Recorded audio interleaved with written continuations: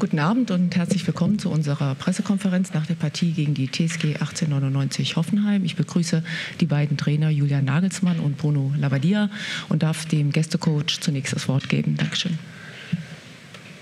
Ich war mit den ersten 20 Minuten sehr zufrieden äh, in unserem Spiel. Wir haben bewusst ein bisschen auf Ballbesitz verzichtet in der Phase, um ähm, einfach über Balleroberung und zu kontern, äh, zu Chancen oder mit Kontern zu Chancen zu kommen. Das hat nicht nur beim Tor gut geklappt, sondern wir hatten danach ja, mit einer Chance von Joe, die sehr, sehr gut war, und dann noch zwei Durchbrüchen vom André.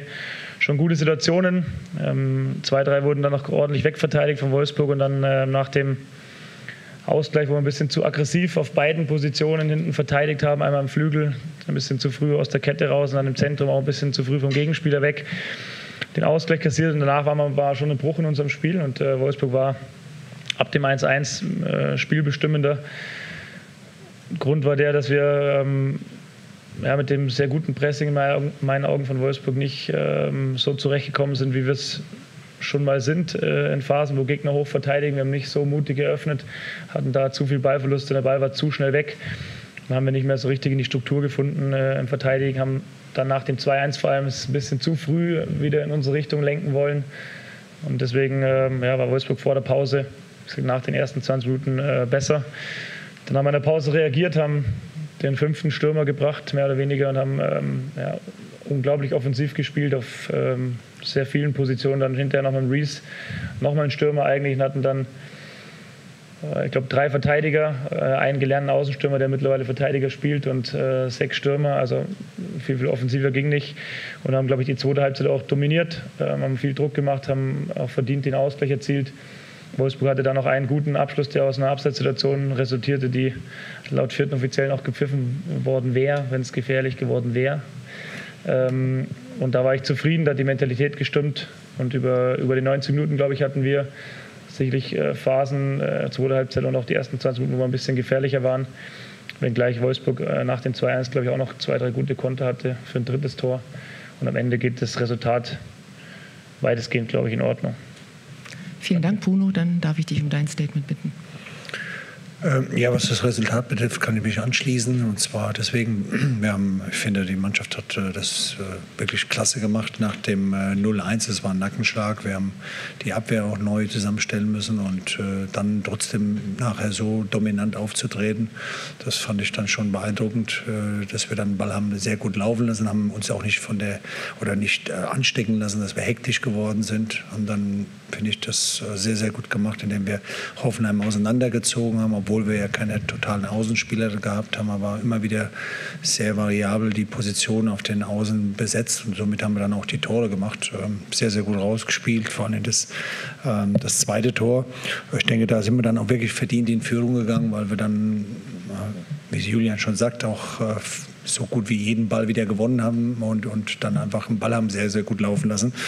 Ich denke, wir haben das Spiel heute nicht gewonnen, weil wir dann in der, nach der Halbzeit den letzten Punch nicht mehr gehabt haben, den wir, der, wo wir die Möglichkeiten gehabt haben mit Kontersituationen. Ähm, dann bin ich der Meinung, hätten wir das Spiel heute gewonnen. Aber ansonsten muss man dann klar sagen, hat äh, Hoffenheim das dann sehr, sehr gut gemacht mit ihren vielen Offensiven, mit dem, dass wir nicht mehr diesen Gegendruck machen konnten.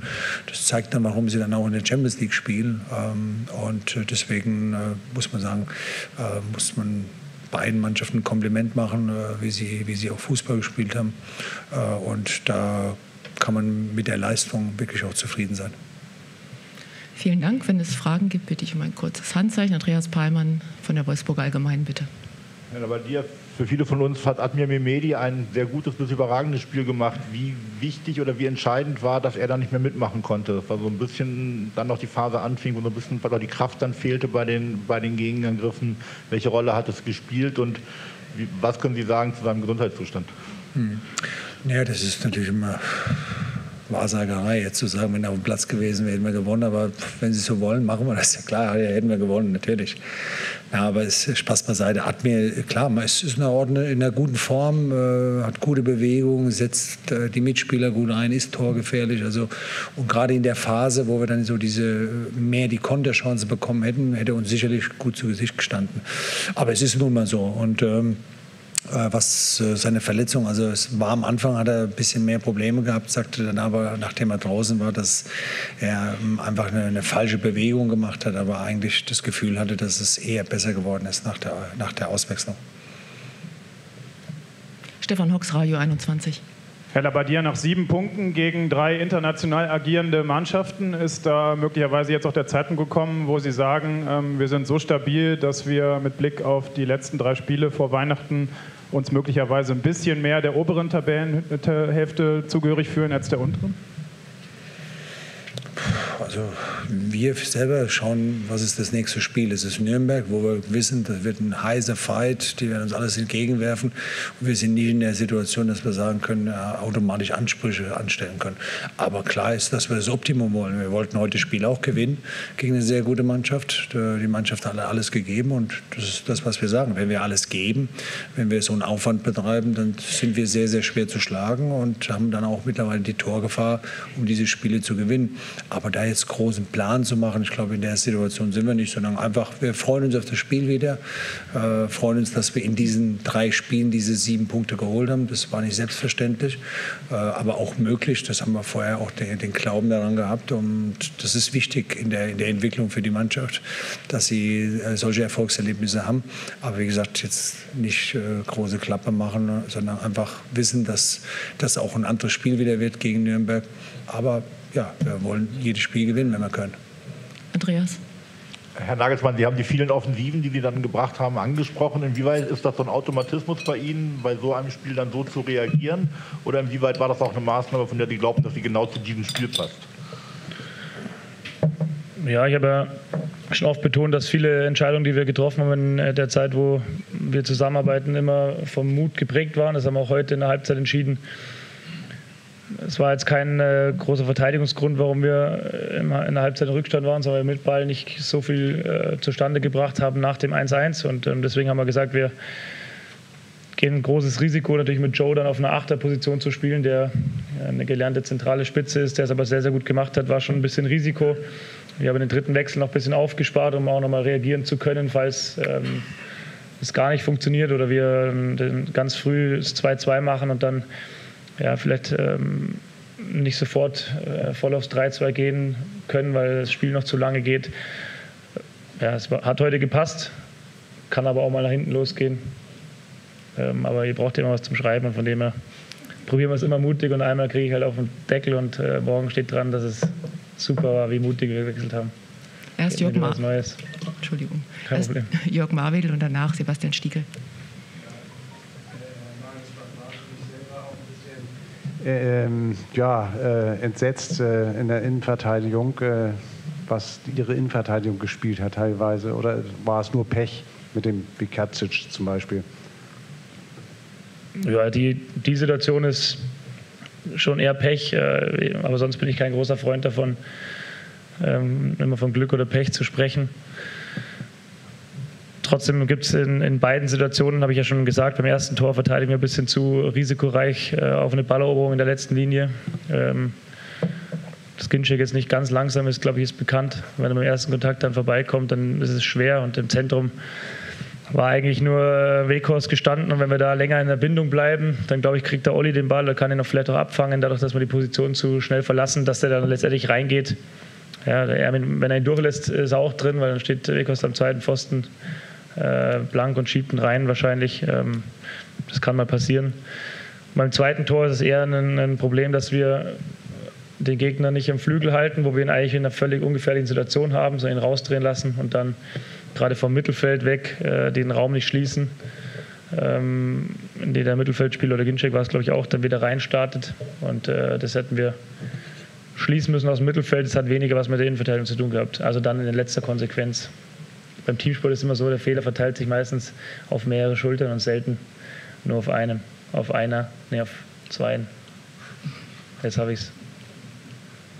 Ähm, Herr Nagelsmann, zwei Fragen. Können Sie schon was Näheres sagen über die Verletzung von Kerem Demir bei, mit Blick auf den Mittwoch eventuell? Und wie haben Sie die Szene vor dem 2 zu 2 wahrgenommen? Das war ja, wenn man die Fernsehbilder hat, relativ eindeutig, aber es dauert ja trotzdem sehr lange, bis das aufgelöst werden konnte. Also zwischen Tor und Torjubel Also bei Kerem ist nichts Dramatisches, glaube ich, weil er nur einen Schlag bekommen hat. Hat für Mittwoch auch keine Relevanz, weil der ist gesperrt. Also ähm, hat er eine Woche Zeit, sich zu erholen von der Verletzung und es wird auf jeden Fall drin sein. Ähm, zu dem Tor, ja, habe ich jetzt nicht so richtig, ich habe es noch gar nicht gesehen im Fernsehen. Aber anscheinend war es ja kein Abseits, ist es nicht gezählt. Dafür haben wir die Männer ja in Köln und eine Dame, die auch ab und zu da sitzt, glaube ich. Und ähm, ja, ich habe nur gesehen, dass es Kommunikation gab und dass da daraufhin der Assistent gehoben hat. Aber ich finde es ja, grundsätzlich gut, wenn sie was entscheiden. Und dann wird es halt nochmal überprüft, dafür hat man das ja. ja. Und dann war halt mal eine Entscheidung anscheinend nicht richtig. Äh, andersrum bei dem, ich glaube es 2-1 war, wo der Ball äh, fast im Aus war, ist auch, auch richtig entschieden. Der sieht von einer Kameraperspektive sieht der Ball äh, klar aus. Sieht aus, wenn er komplett im Aus war, von der anderen dann gar nicht äh, oder nicht, weil das, ich glaube, ja, das Lot entscheidend ist, ob er drin ist oder nicht. Und von dem her, glaube ich, haben die Schiedsrichter heute einen ganz guten Job gemacht. Hier vorne bitte, zweite Reihe. Nagelsmann Benny Hübner hat heute sein Saisondebüt gefeiert. Was sprach unter der Woche dafür? Wann haben Sie äh, entschieden, dass er heute von Anfang an spielt? Und wie sind Sie mit seiner Leistung zufrieden? Ja, in der zweiten Halbzeit hat er sehr gut gespielt, finde ich. Da hat man ähm, vieles von dem gesehen, was ihn sehr stark gemacht hat, äh, seitdem er bei uns ist. In der ersten Halbzeit hat er das auch grundsolide gespielt für die lange Zeit, wo er ähm, jetzt gar kein Spiel gemacht hat, auch nicht in der U23. Ähm, war ich grundsätzlich auch zufrieden. Wie gesagt, bei dem einen Tor, da geht er ein bisschen zu giftig hin. Aber auch das ist eine seiner großen, großen Stärken, ähm, dass er da ein gutes Gespür hat in der Situation, was Vordecken angeht. Dann kann es mal passieren, auch wenn nach so langer Zeit fehlt einfach manchmal ein bisschen das Timing, aber er hat sich äh, super reingefunden. Ich bin äh, erstmal glücklich, dass er wieder da ist und habe jetzt heute nicht erwartet, dass er an die Weltklasse rankommt. Ähm, aber ich war schon zufrieden ähm, in Anbetracht der Situation, in der er sich ja, lange Zeit befand. Stefan Hocks nochmal. Herr Labadia, vom Debüt zum Comeback. Äh, Joshua Giavugi hüpft da unten gefühlt, so ein bisschen äh, sinnbildlich gesprochen, wie ein neuer Mensch durch die Mixzone. Ähm, total happy nach seinem Comeback, nach langer Verletzungspause. Wie gut tut er der Mannschaft? Wie wichtig ist es auch, dass er wieder mit am Start ist?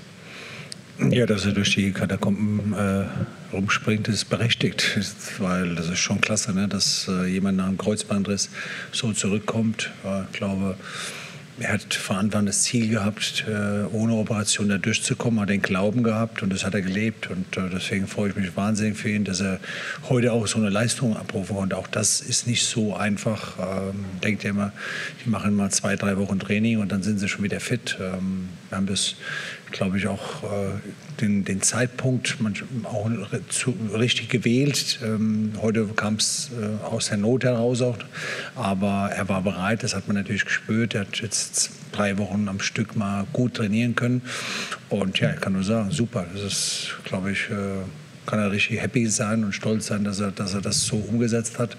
Äh, Kompliment an alle, die daran beteiligt waren und wichtig ist, dass er da stabil bleibt. Also echt eine gute Leistung. Andreas? Herr Lavalier, unter uns Kollegen ist jetzt nach Frankfurt zum zweiten Mal in Folge die Diskussion aufgekommen, ob man denn dieses Grundsystem als Raute oder als 4-3-3 aufmalen müsste. Wie malen Sie es den Spielern denn auf?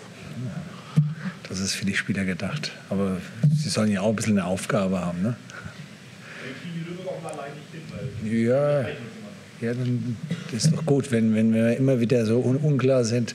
Also ich denke, wenn man die Spielertypen sieht, dann, dann hängt das natürlich, also ist das schon auch ein Stück schwimmend und äh, ähm, hängt natürlich auch davon ab, wie der Gegner gewisse Dinge macht. Aber ich habe es ja vorhin auch äh, eingangs gesagt gehabt, dass wir auch gerade, wenn wir mit diesen Spielertypen spielen, natürlich im Zentrum sehr, sehr stark sind und immer wieder schauen müssen, wie wir die Außenposition auch besetzen. Und äh, was, was mir da einfach gefällt, ist die Flexibilität, dass äh, verschiedene Spieler dann einfach die Position übernehmen. Ob das mal ein Achter ist, ob das äh, mal der Zehner ist oder mal ein Stürmer. Genau, das, das machen sie sehr, sehr gut, fand ich. Gerade bei, der, bei den zwei Toren, die wir dann gemacht haben, ist das so passiert. Und diese Flexibilität, die wollen wir haben. Bitte schön. Ja, Herr Nagelsmann, Kevin Vogt heute auf der Sechs, hat er früher auch schon gespielt. Äh, wann haben Sie diese Entscheidung getroffen? Was hat Sie dazu bewogen und wie beurteilen Sie seine Leistung bis zur Auswechslung? Ja, normal, wenn man auswechselt wird, ist man nie 100% zufrieden als Trainer, außer es hat einen rein taktischen Grund. Ähm, entschieden habe ich es, glaube gestern, 14.52 Uhr ungefähr. Ähm, der hat nur defensiv auf der 6 gespielt, offensiv hat er normal in der Dreierkette gespielt. Einfach die, wir wollten heute mit, mit einer Viererkette defensiv agieren und dann geht es halt immer darum, wie kriegst du es umgebaut, dass es offensiv wieder eine Dreierkette wird. Und äh, da wir da nichts mit den Außenverteidiger machen wollten, äh, bot sich die Entscheidung so an, dass Kevin von der 6 dann nach hinten reinkippt. Das ist ein recht kurzer Weg. Ja, habe ich eigentlich alles beantwortet, oder? Bitte? Ja, oh, nageln Sie mich nicht fest, aber ungefähr. Dann vielen Dank für die Aufmerksamkeit. Ihnen allen einen schönen zweiten Advent und den Gästen eine gute Rückreise nach Sinsheim. Danke.